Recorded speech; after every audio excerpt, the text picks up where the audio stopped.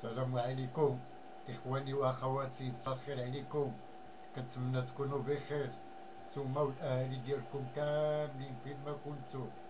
إخواني وأخواتي اليوم آه يعني كانت الحرارة نسبيا كانت الحرارة طالعة شوية وكنظن هكاك في جميع الأقاليم المغربية لأن دابا راكم كتعرفوا راه فصل الصيف أبواب راه نيت يمكن بدينا فيه.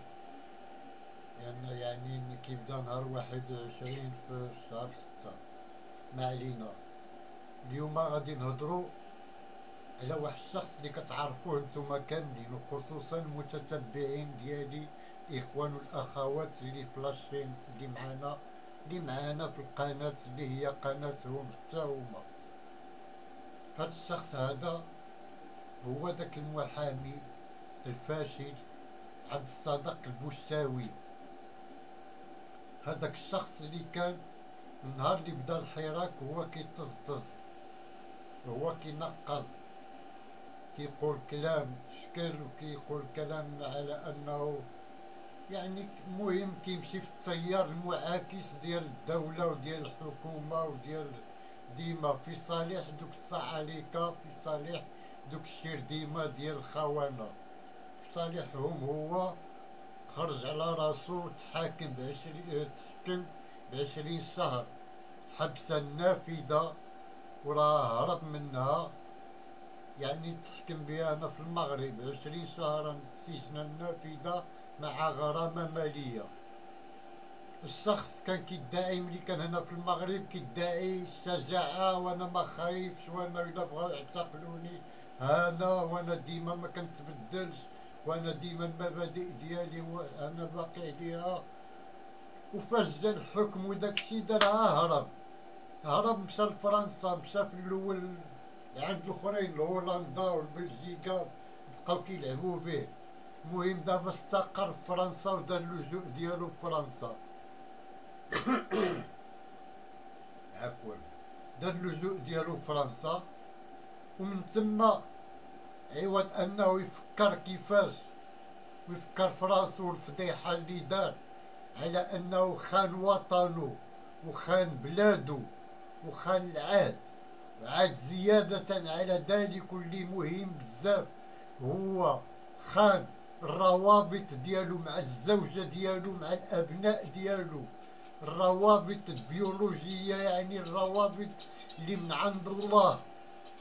خانهم وخان الزوجة ديالو خان أبناء ديالو وخوابيهم لأن بات مصبح خوا كان في حياتهم واحد شوية ما بقاش في حياتهم ولا في حياتهم غير بالهاتف أو لا سمعوا الاسم ديالو ولا شي حاجة.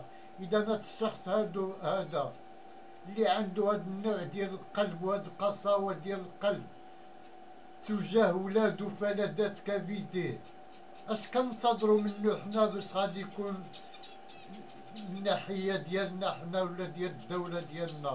غادي يكون كثر قاسي كثر غادي يكون ديما عدو لدود غادي يكون عدو دائما كيهاجم الدولة وداكشي اللي بقى كيدير. وكيبخس بالدولة وبالمؤسسات وبالأجهزة وخصوصا الجهاز ديال القضاء. لأنه كينتمي ليهم لأنه كان محامي. في الهيئة ديال تطوان وكان محامي فاشل كان كيشد غير القضايا ديال المخدرات وديال القرقوبي وديال داكشي باش كان كياكل. اش غادي يقول؟ كان كيكذب كيكذب باش يخرج مهرب مهرب ديال المخدرات باش يخرجو من الحبس. خاصو يكذب. السيد تشد وتشد عنده المخدرات واعترف بأنه كيبيع ويشري في المخدرات. كيجي عبد الصادق البوشتاوي كيشد القضية ديالو باش يخرجو من الحبس رغم أنه كيهلك المجتمع وكينخر في المجتمع ديالنا وفي الشباب ديالنا. إذا هذاك محامي فاشل زيد على الفشل ديالو المهني الفشل ديالو العاطفي اللي قلت لكم مع ولادو مع مراتو مع والديه مع كل شيء خواب كل شيء ومشى كيعيش حياة ديال الزوافرية فرنسا وشد المغرب كهدف لقبالتو بحال داك la cible اللي كيديرو كيبقاو يتيريو فيها. دار المغرب هدف قبالتو وبقى كيتيري في المغرب كل مرة تشكل كل مرة. وهو كينوى بأنه كيفيق دوك شوية ديال الأوباش اللي كيتبعوه. دوك شوية ديال الأوباش اللي كيتصنتو ليه. دوك شوية ديال الأوباش اللي منفوخين غير بالريش بحال هو بحال شي وسايد دايرين بحال وسايد ما عندهم لا عقل لا والو. حجر بالشعر. قلت لكم إخواني وأخواتي خرج لفرنسا بقى كيضرب في المغرب وكي هذا كيدير فيديوهات وكيبخص وكيدور كيقول وكينتقد وهو في نفس الوقت كيقول مسألة وفي فيديو الآخر كيقول العكس ديالها. كينتقد راسو براسو. كينسى شنو قال في الفيديو الآخر وملي كيجي فيديو كيقول العكس ديال داكشي اللي قال. يعني السيد مخردف ماشي هو هذاك. وها واش هاد الناس هادو اللي كيقولوا كيهضروا على على يعني كيهضروا على المعتقلين وكيهضروا على الحقوق ديالهم وكيهضروا هما ما هضروش حتى على روسهم هما هما مخربقين في حياتهم. حياتهم هما مخربقين فيها. عاد غادي يجريو على يصايبوا الحياة ديال واحد الآخر. هو حياته مخربقة فاقد الشيء لا يعطيه قلت لكم هذا الشخص هذا هذا البوشاوي. هذا عبد الصادق البوشاوي المحامي الفاشل اللي كيعيش دابا على بعض الأوروهات ديال اللجوء كيشد شي 430 أورو ديال اللجوء كيسحب الوراب هذيك غادي يعيشوا بها إيوا ولادك والمعيشة ديال ولادك والقراية ديال ولادك والدواء ديال ولادك والكسوة ديال ولادك وداكشي منين. اذا ماشي راجل. ما عندك لا إحساس بالمسؤوليه ولا حتى شي حاجة. أنت شخص فاشل على كل الوجهات.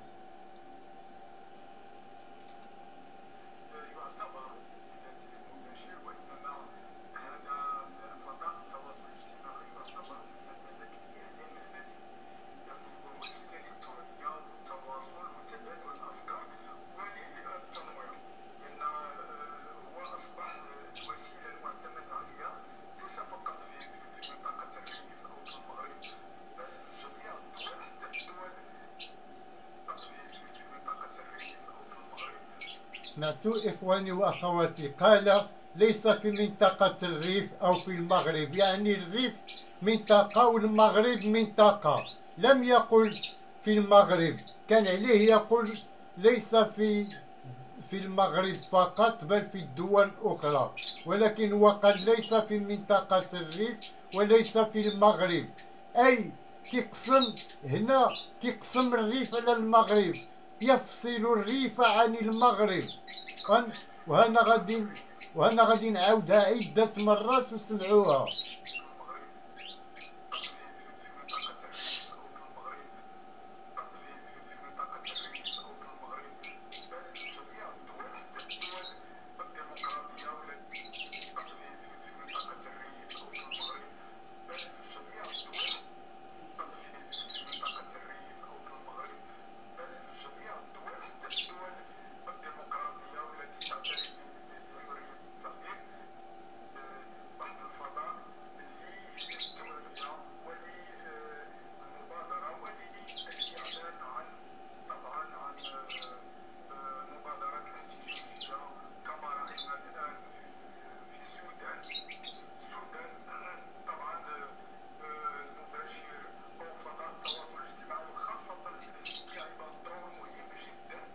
هذا نوع من التهديد.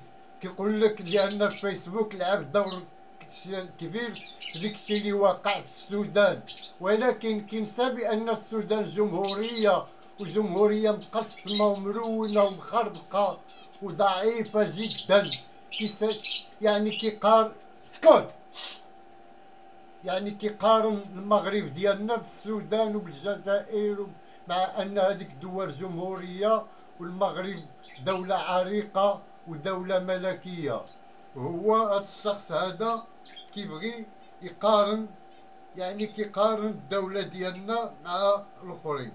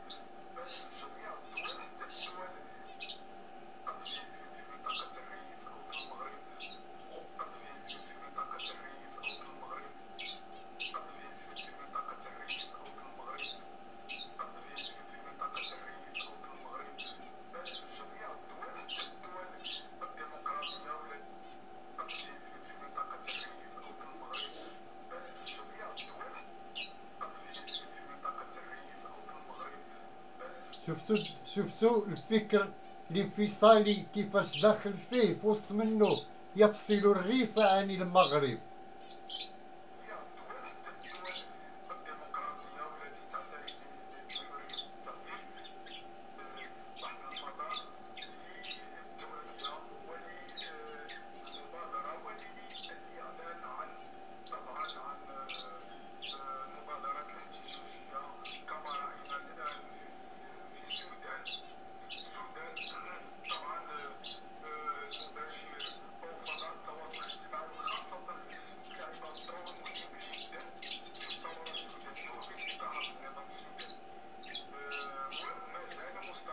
فلا تقارن المغرب بالسودان. ولا تقارن المغرب بالجزائر فهؤلاء دولتان جمهوريتان.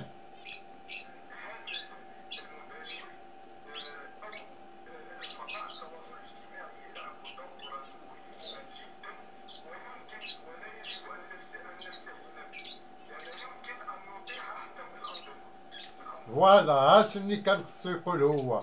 هو كان كيقلب باش يوصل لهاد الهضرة.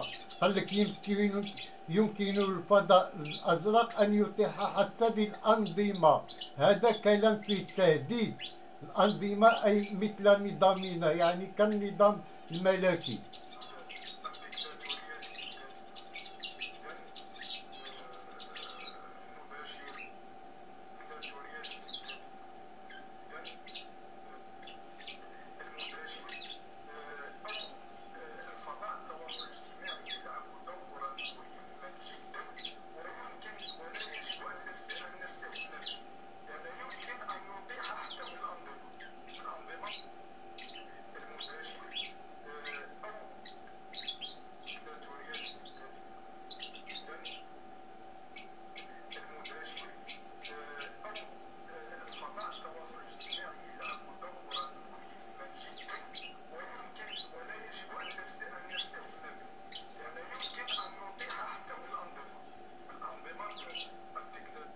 اذا إخواني وأخواتي سمعتوا الكلام ديالو فيه تهديد. كيقول لك بأن الفضاء الأزرق يمكن أن يطيح حتى بالأنظمة. يعني كيهدد هذا كلام فيه تهديد. نسى بأن هذوك وزاد وعاد قبل ما هذا الشيء هذا بدا كان كيقارن المغرب بالسودان وقارن المغرب بالجزائر مع أن الجزائر والسودان دولتان جمهوريتان والجمهورية ماشي هي الم- المملكة.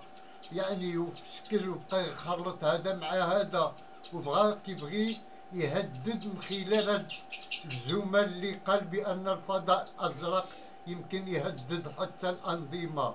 علاش؟ هنا غادي نرجع وغادي نقول بأن هاد الأفكار اللي كتقول يا- يا الشماتة يا الخائن ديال عبد الصادق البوشاوي هاد الشيء كيدور غير عند الأفكار هاد الأفكار كدور غير في الريوس ديال بحالك الريوس اللي ما كيستافدوا اللي ما كيعرفوش يستافدوا من الفضاء الأزرق إلا بهاد الطرق هادي الطرق يعني الخمجه الشنيعة الطرق اللي سيئة اللي مشينة اللي يعني اللي التي تمس بالآخر. نتوما كتستافدوش من الطرف الأزرق ب- يعني بالوجه الصحيح. وإلا مشينا نشوفوا الناس الآخرين مثلا الأوروبيين كيفاش كيتعاملوا مع الفضاء الأزرق كتلقاهم كيتعاملوا معاه بطرق أخرى يستفيدون منه. يعني في كل حاجة في البيع في الشراء في الم- في المصالح في حاجات أخرى حاجات ذات أهمية وذات يعني ذات أهداف نبيلة ولكن نتوما واللي. أنت واللي بحالك كتستافدوا من الفضاء الأزرق بطرق اللي هي خامجه اللي هي ما صالحاش إما أن تؤذوا بلاد بلدكم عبرها أو تهينون بلدكم عبرها أو تهينون أبناء وطنكم عبرها عبر تلك تلك يعني عبر ذلك الفضاء الأزرق هادشي اللي كديروا أنت أنت وأمثالك يا عبد الصادق البوشاوي يا المحامي الفاشل يا عديم الرأفة حتى بأبنائه وبزوجته. سير طلق عليك داك المرأة مسكينة راه باقا صغيرة وخاصها تعيش حياتها وراه باقا عندها الرغبة والشهوة الجنسية. وباقا مسكينة باقا علاش خاص تحرمها علاش تحرمها من حياتها؟ وعلاش تحرم دوك الأبناء من باهم؟ وغادي علاش لصقتي فيهم السم وسختي ليهم السمعة ديالهم وهما باقيين صغار؟ حيت فاش غادي يكبروا غادي يبقاو ينعسوهم بأبناء الخائن. هذاك ابن الخائن وابنة الخائن. هكا هذا هو التنبر اللي لصقتي في وليداتك. يا عبد الصادق البوشاوي. يا خائن يا عدو الوطن. وعدو الله لأن من كان عدو وطنه وعدو ملكه وعدو إخوانه المواطنين فهو عدو الله. أنت عدو الله يا عبد الصادق البوشاوي وراك عمرك ما غتربح. غتبقى تنبح أنت ورا سبقوك شحال من شحال منهم وما كينبحوا سنين قبل منك. أنت يلاه بديتي. الأخرين سنين قبل منك وما قضاو والو. سير سول جدك عزوز ريتشارد عزوز. شوف اش قضا واش قضا شي حاجة. وشوف الأخرين التابعين له وشوف ريافة اللي اللي هما قبل منك في أوروبا اللي هما قبل منك كي كيديروا في هذا الميدان. واش قضاو شي حاجة. والو زيرو ما عندكم ما تقديو الدولة المغربية دولة عريقة وعتيقة. وذات حضارة قديمة وعتيقة كذلك. ما عندكم فين المغ... العالم كامل شد في المغرب. كل شيء كيأيد المغرب. والمغرب عزيز عند العالم كامل. وما تقدروا تقدروا تقديو حتى شي حاجة للمغرب. والمغرب راه زايد في النمو. وحنا كمواطنين قابلين على المغرب ديالنا وقابلين الحالة اللي حنا فيها. وحنا غاديين كنتقدموا غنصلحوا كل شيء إن شاء الله مع الإصلاحات بدون تهديم البلد. حنا البوشاوي يا عبد الصادق البوشاوي حنا غادي نصلحوا بلادنا بلا ما نهدموها بحال هادوك اللي قلتي بحال السودان والجزائر و... وآخرون. حنا غادي نصلحوها بلا ما نهدموها بلا ما نردمو بلادنا غادي نصلحوها ونرمموها. ونعيشوا فيها سعداء كما حنا الحمد لله عايشين وقانعين باللي عطانا الله. وأنتم اش ضركم ياك حنا اللي في البلاد وسط الوطن قانعين وعايشين وغاديين وقابلين على الوتيره اللي غاديين بها وأنتم فاش كيضركم حنا اللي كنشوفوا اش كيوقع في الوطن. حنا كنشوفوا شنو كيتبنى. حنا كنشوفوا شنو كيدار. حنا كنشوفوا المشاريع اللي كدار.